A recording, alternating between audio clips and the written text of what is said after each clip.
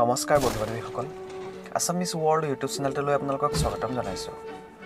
বন্ধু বান্ধৱীসকল বহুত মানুহে এইটো আপত্তি কৰে যে তেওঁৰ ঘৰত হঠাতে কিবা বেয়া হ'বলৈ আৰম্ভ কৰিছে। যেনে হৈ থকা কাম নোহোৱা হৈ পৰে হঠাতে চাকৰি গুচি যায় ঘৰলৈ টকা পইচাৰ অহাৰ বাট ৰুদ্ধ হৈ পৰে। ঘৰত এনেধৰণৰ নকাৰাত্মক শক্তিৰে ভৰি পৰে যে ঘৰৰ পৰা ওলাই গ'লেহে শান্তি লাগে।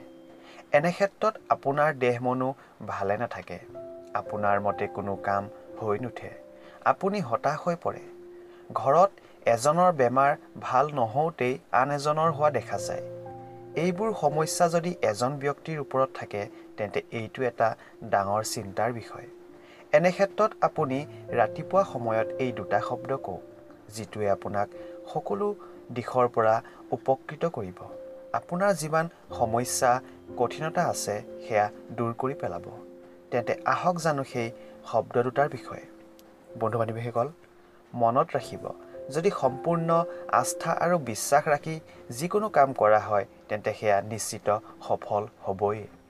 মহাদেৱৰ কৃপাপ্ৰাপ্তিৰ বাবে এই দুটা শব্দ ডাঙৰ আৰু সৰু সকলোৱে উচ্চাৰণ কৰা উচিত। এনে কৰিলে মহাদেৱৰ লগতে মা পাৰ্বতী আৰু গণেশৰো কৃপা লাভ কৰিব পাৰি। আপুনি ৰাতিপুৱাই উঠি দুয়োখন হাত জোৰ কৰি কওক এই শব্দ কৰাগ্ৰে বস্তে লক্ষ্মী কৰমধ্যে সৰস্বতী কৰমূলে তো গোবিন্দ প্ৰভাতে কৰ দৰ্শনম শাস্ত্ৰমত অনুসৰি এই শব্দ উচ্চাৰণ কৰাৰ মাত্ৰেই ব্যক্তি সকাৰাত্মক শক্তিৰে ভৰি পৰে। ঘৰ পৰিবাৰ সকলোতে আনন্দই বিৰাজ কৰে। যিকোনো হাতত লোৱা কাম হৈ উঠে তথা টকা পইচাৰ আমদানি বাঢ়ে। এই মন্ত্ৰ কোৱা ব্যক্তিৰ ওপৰত মহাদেৱৰ কৃপা থাকে।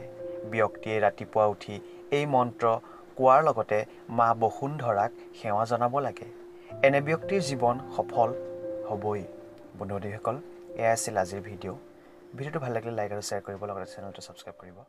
ধন্যবাদ।